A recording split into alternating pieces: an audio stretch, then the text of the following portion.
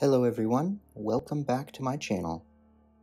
It's been a long while since I've uploaded anything, and that's mainly because I was busy with having my first daughter and child born.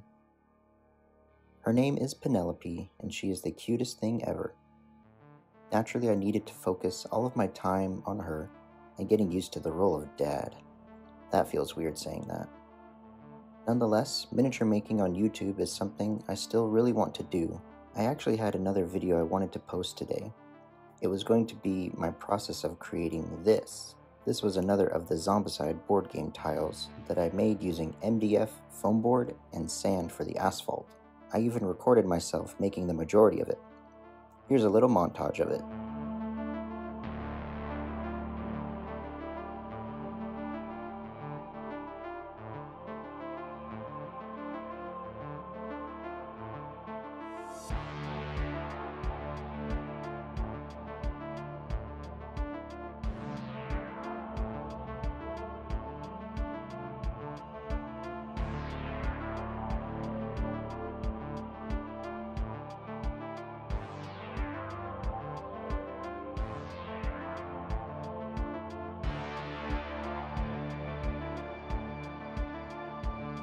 And done. I actually like the way it turned out. One problem though, they don't sit very flush together, creating this bulge right in the middle of the street, and there are 18 of these tiles to make. Before I got too deep into making a bunch of these that wouldn't work, I went back to the drawing board. The Zombicide board had these crosswalk road markings, so I just made six markings one way and six the other.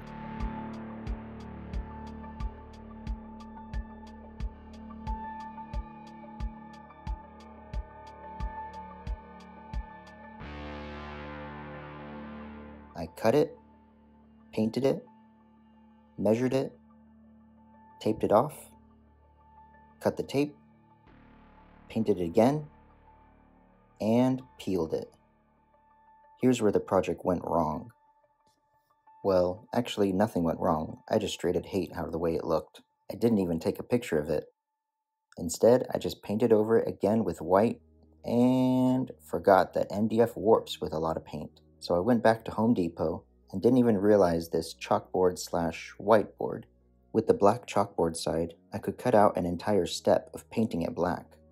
With my new board cut out, I went back to the drawing board, again, to make something that would still fit in the city theme and be modular.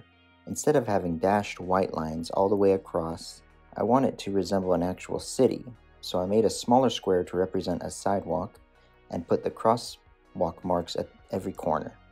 Leaving some space from the crosswalks means I can add some yellow lines to resemble some roads.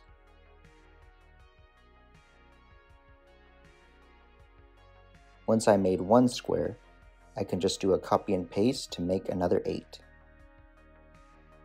I could leave the board looking like this, but I wanted to add a border around the entire board to make the edges a complete road. Planning ahead on the measurements saved me time. I drew and drew and drew and drew and drew all the measurements following my guide, and then taped and taped and taped and taped and taped even more. Even called upon an unfortunate soul to help me tape, and we taped and taped all the areas that needed painting. And done. Next, I sponged on two coats of some acrylic white paint and let it dry overnight.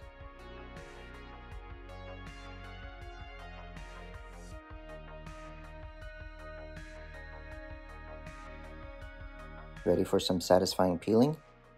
Here goes.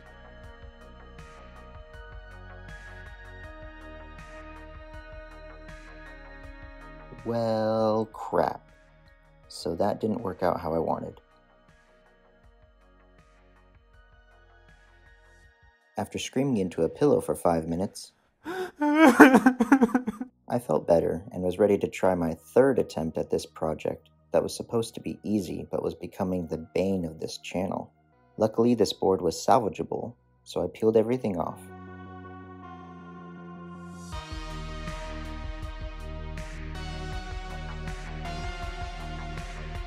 My ingenious dad then came over and suggested I use tape. I was a little skeptical to use it because I felt that it would just come off. I tried it, and the adhesive was really strong. I started by covering the crosswalk areas with long strips and then measuring them to length. I didn't cover all of the board, and I'll show why soon.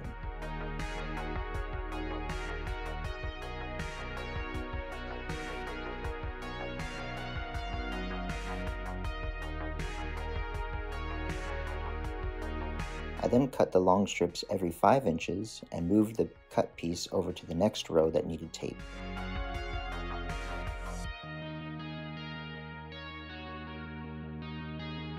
I then cut all the 5 inch strips every 1 4th inch apart and then peeled every other strip and moved it over to the next row.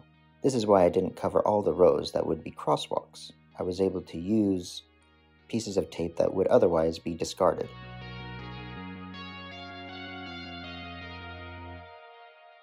Once done, I got some $4 yellow duct tape and laid out a big strip. This will be the yellow road lines. I cut them every four and a half inches and then cut them very thin, eyeballing it.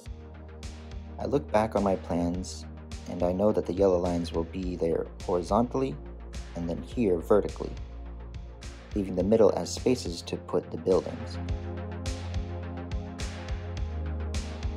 After laying them down and cleaning them up a bit with a hobby knife, I was nearly done. I just wanted to seal the tape down, and after some experimenting, I found that PVA glue was the best choice.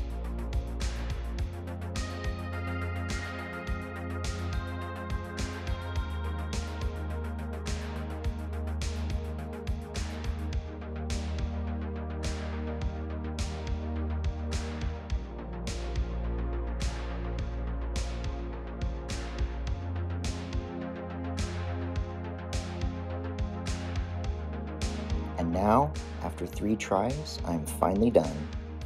This project took much longer than I wanted. But I wanted to make this a sturdy piece because this is what I envision my Zombicide board game as once I start building some buildings for it. If you've stuck around till the end, thank you for watching and subscribe if you want to see more buildings.